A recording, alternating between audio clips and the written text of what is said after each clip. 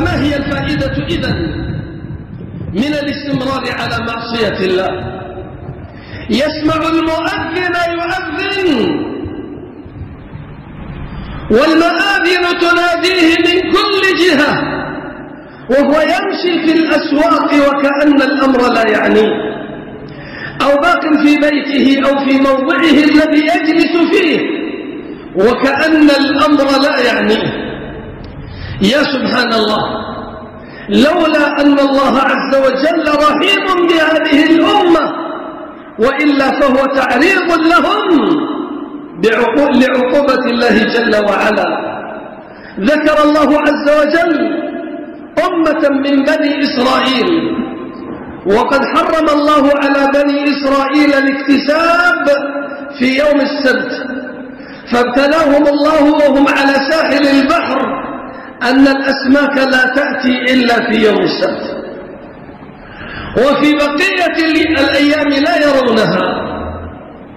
فيرونها يوم السبت طافئة على سطح الماء. فتحيلوا فوضعوا الشباك في يوم الجمعة وأخذوا الشباك في يوم الأحد فيها الأسماك وذهبوا في يوم السبت للعبادة. ولكن الاصطياد ووقوع السمك في الشبك إنما كان في يوم السبت. فنصحهم علماؤهم وترك النصيحة بعض الصالحين وقالوا لا تنصحوهم. دعوهم سيعاقبهم الله. فمسخهم الله قردة والعياذ بالله. واسألهم عن القرية التي كانت حاضرة البحر. إذ يعدون في السبت إذ تأتيهم حيتانهم يوم سبتهم شرعا ويوم لا يسبتون لا تأتيهم. كذلك نبلوهم بما كانوا يفسقون. وإذ قالت أمة منهم لم تعظون قوما الله مهلكهم أو معذبهم عذابا شديدا؟ قالوا معذرة إلى ربكم ولعلهم يتقون. الصالحون قالوا نحن نعظهم. نعذر عند الله. ولعل الله أن يهدي من شاء منهم.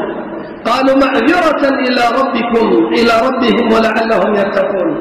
فلما نسوا ما ذكروا به أنجينا الذين ينهون عن السوء وأخذنا الذين ظلموا بعذاب بئيس بما كانوا يفسقون.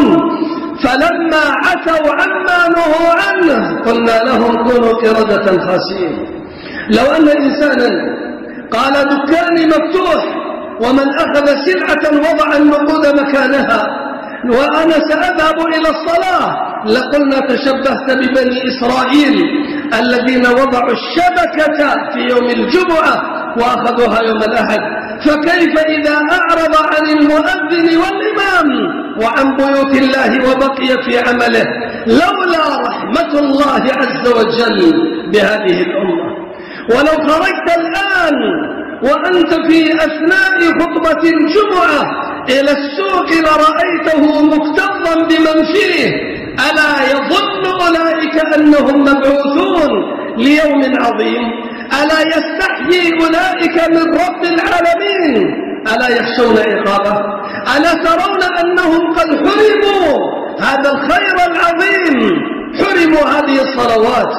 إن العاصي لله عز وجل حرم نفسه من هذه الصالحات ومن هذه القربات التي يجد المؤمنين المؤمنون فيها تقوية لإيمانهم وحفظا لهم ويجدون أن قلوبهم تقوى في التوكل على الله عز وجل والاعتماد عليه. نسأل الله التوفيق والهداية.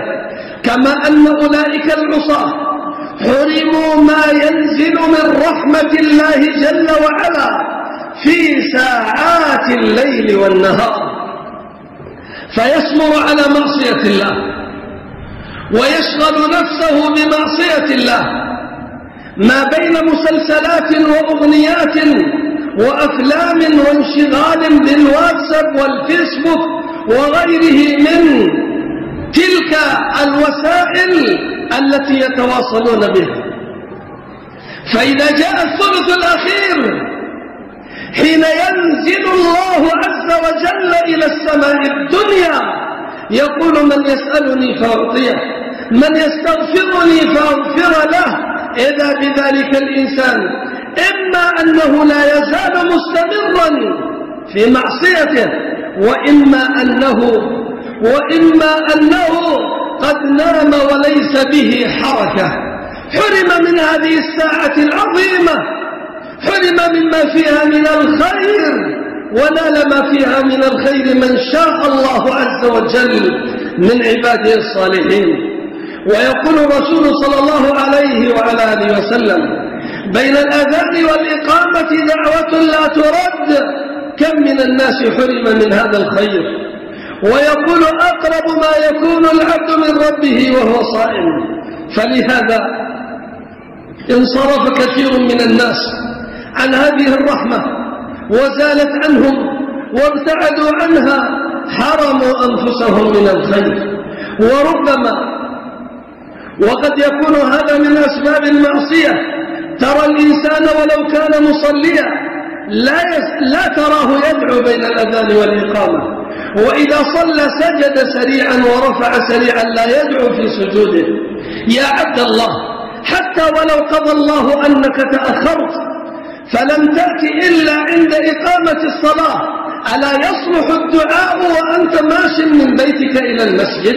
بلى وأنت آنذاك بين الأذان والإقامة فلا ينقضي هذا الوقت من أسباب من أوقات قبول الدعاء إلا حين تقام الصلاة في المسجد الذي أنت ذاهب إليه. فلو أنك آت إلى هذا المسجد وأقيمت الصلاة في مسجد آخر فلا تزال الفرصة معك في أنك بين الأذان والإقامة. تدعو الله عز وجل فيستجيب لك